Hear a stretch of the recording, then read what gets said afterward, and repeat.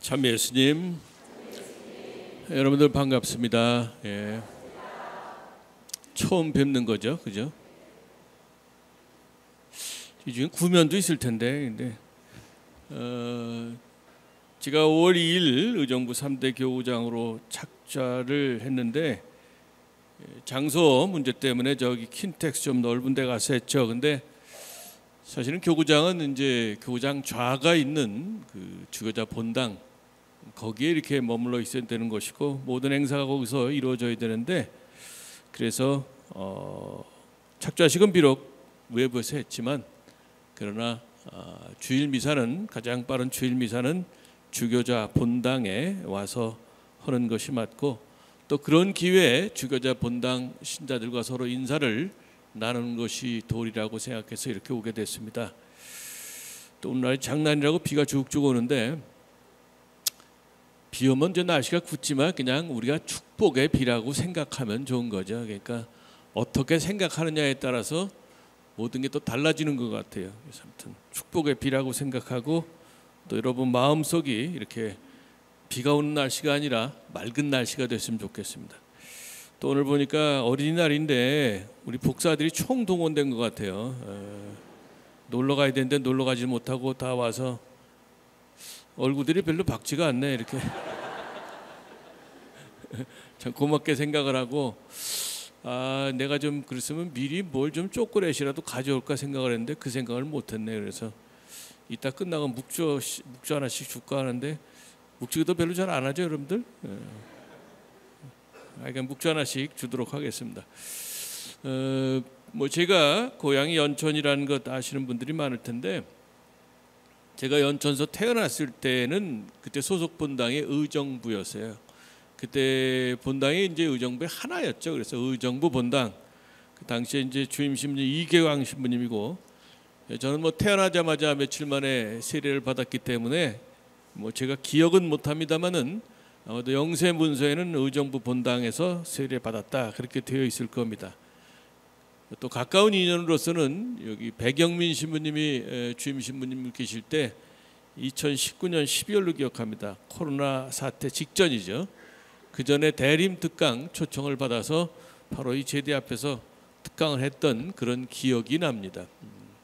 그래서 이래저래 뭐그 외에도 여러 가지 인연이 있습니다만은 이래저래 인연이 많은 이곳에 제가 교구장으로 오게 돼서 참 저도 어, 뭔가 낯선 곳이 아니라 정말 낯익은, 낯익은 곳 같은 어떤 따뜻한 마음이 따뜻한 생각이 드는 그런 곳으로 오게 돼서 굉장히 기쁘게 생각을 합니다.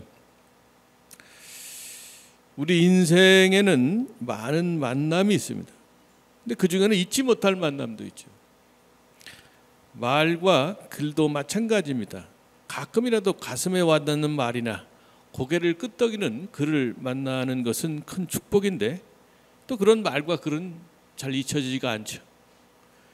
제 경우는 교황 베네딕토 16세 말씀 중에 하나가 기억에 새겨져 있습니다. 어느 시대든 인간의 필요에 답하기 위해 교회가 필요로 하는 것은 거룩함이지 경영 수단이 아니다. 어느 시대나 교회가 시대에 응답해야 되는데 교회가 그 시대의 요청에 응답해야 되는데 그것은 외양은 다를 수 있지만 그 그그 그, 그 핵심 그 내용은 거룩함이 돼야 되지 경영 수완은 아니다 하는 그런 말씀입니다. 구약 성경에는 거룩한이라는 그런 단어가 형용사가 많이 나오는데 뭐 구약 성서 시브리어로 돼 있죠. 시브리어 어원을 따져 보면 그 거룩한이라고 번역되는 그 말은 본래 분리된 구별된 이런 뜻입니다. 그래서 하느님은 거룩한 분이라고 할 때 하느님은 인간과 세상과는 분리가 되고 구별된다는 그런 뜻이죠. 인간과 세상과는 근본적으로 구별되는 거룩하신 하느님의 사랑 역시 인간과 세상과는 구별이 됩니다. 그런 하느님의 사랑을 분명하게 보여주신 분이 하느님의 아들이신 예수님이시고 예수님의 사랑은 그래서 인간의 사랑과는 상당히 다릅니다. 우리 인간은 인간의 사랑은 어떠냐? 능력 있는 사람, 성공한 사람, 잘생기고 예쁜 사람, 그 안에 맴도는 경우가 대부분입니다. 물론 예수님도 이런 사람들을 대견하게 여기실 거예요. 예수님이라고 능력 있고 성공한 사람, 잘생기고 예쁜 사람 싫어하실 리가 없습니다. 하지만 그분은 그렇지 못한 사람들, 가난하고 병들고 소외된 이들에게 더 마음을 쓰시고 도움을 도움의 손길을 내미시는 거죠. 우리 그 아픈 손가락이 있다고 그러잖아요. 그 아픈 손가락에 더 마음을 두시는 분이 예수님입니다. 예수님은 가장 작은 이들에게 우선적 관심을 두신 것인데 이것은 마태오복음 25장에 나오는 최후 심판 거기에 잘 나와 있습니다.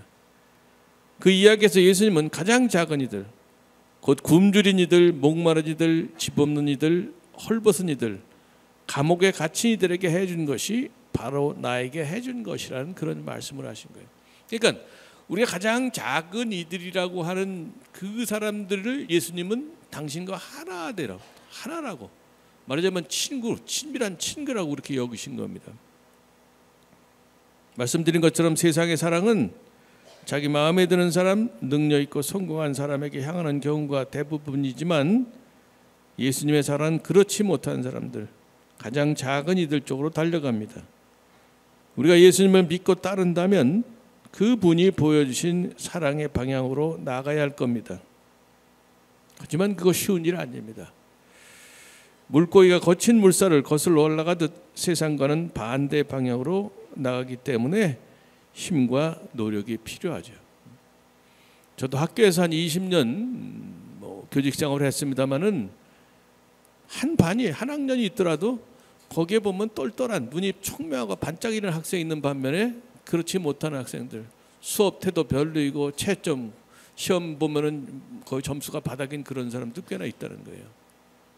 근데 사람이기 때문에 아무래도 총명하고 똑똑한 사람에게 더 관심이 가게 마련이에요. 이 뒤에 계신 신부님들 다 그랬어요.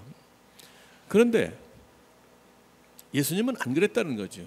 물론 그런 사람들 기특히 여기시지만 그렇지 못한 사람들에게 더 마음을 쓰시고 관심을 쓰시는 그런 분이었는데 우리도 역시 그런 방향으로 살아가기 위해서는 사실은 세상을 거슬러 살아가야 되는 거예요. 힘이 많이 드는 거죠. 물고기가 물살을 거슬러 올라가면 힘이 많이 들잖아요. 그와 똑같은 힘과 노력이 필요한 겁니다. 근데 더욱 중요한 것은 세상과는 구별되는 사랑, 거룩한 사랑의 원천이신 예수님께 깊이 뿌리를 두는 겁니다. 가장 작은 이들에 대한 사랑은 주님께서 우리에게 베푸신 사랑에서 흘러나오기 때문입니다.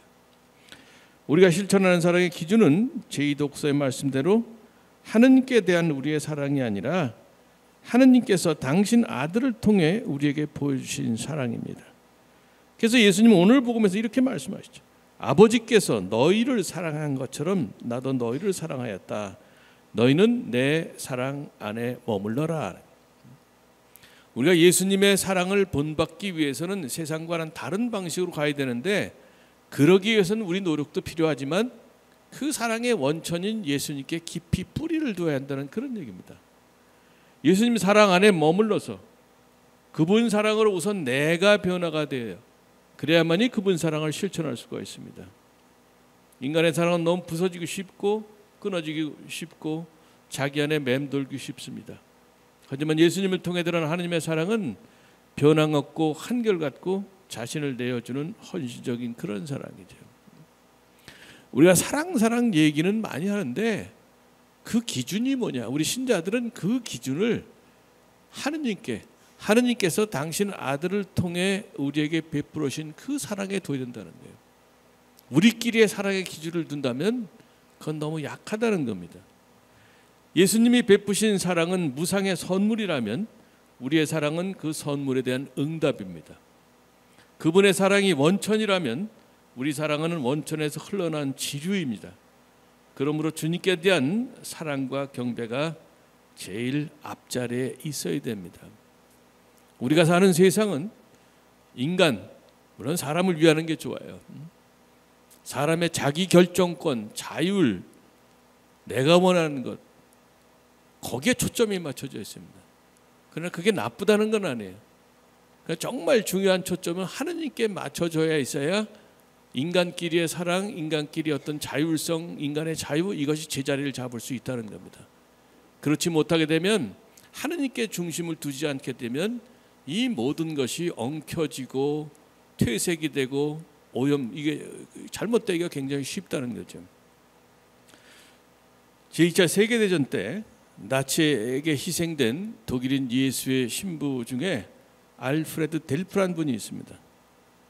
그런 분이 그분이 감옥에 갇혀서 결국 그 교수형을 받아 세상 저기 돌아가셨는데 그분이 감옥에 있을 때 이런 얘기를 했어요. 빵은 중요하다. 그러나 자유는 더욱 중요하다. 그리고 가장 중요한 것은 하느님께 대한 깨지지 않는 신앙과 흔들림 없는 경배다.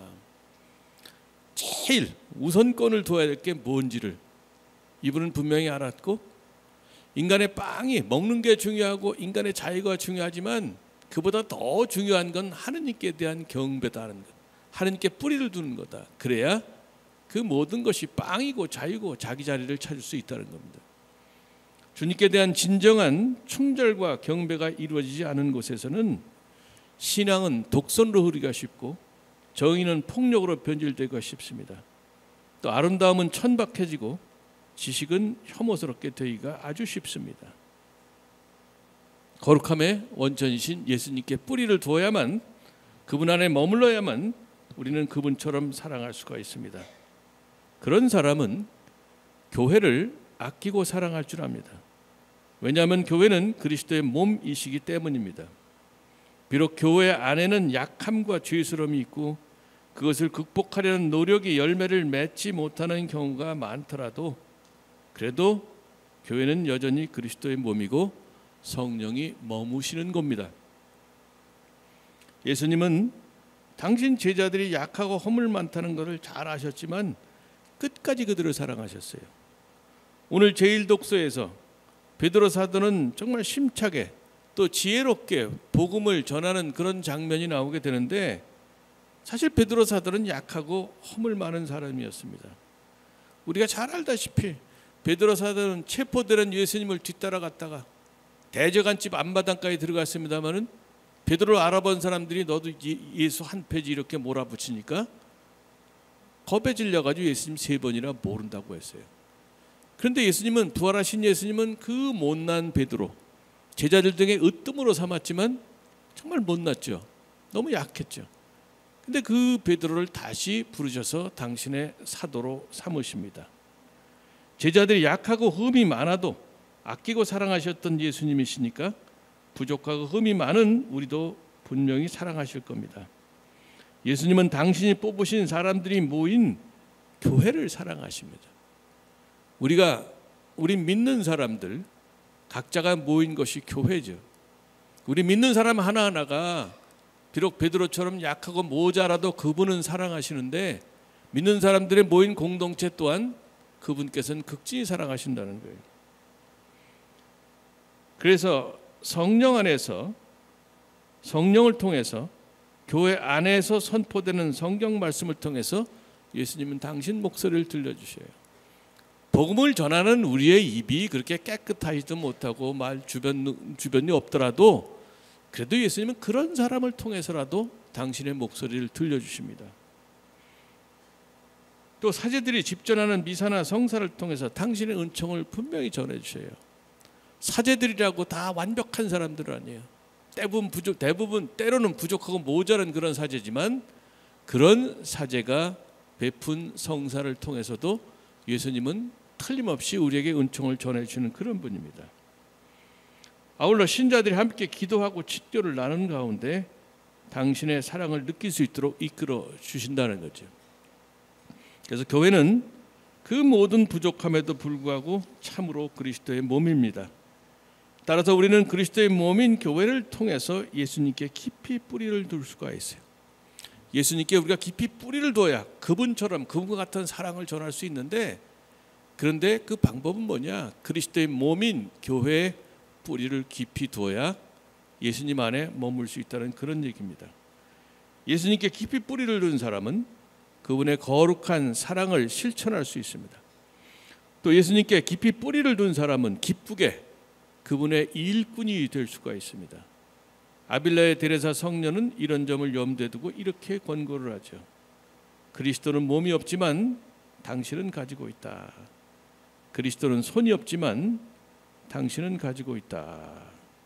이 손자 때문에 제가 많이 이렇게 우리 손이 하는 일 힘을 주셔서 시편의 말씀 뭐 그리고 뭐 신부님들이 약간 재밌게 이렇게 말을 꾸몄다는데 아무튼 그리스도는 손은 없지만 당신은 가지고 있다.